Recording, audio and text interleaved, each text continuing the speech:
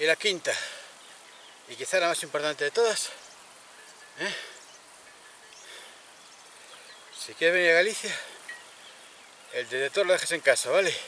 Aquí detecto yo y dos más, ¿eh? Ni se os ocurra. Que tenemos una red de espías por ahí, que cuidadito, ¿eh?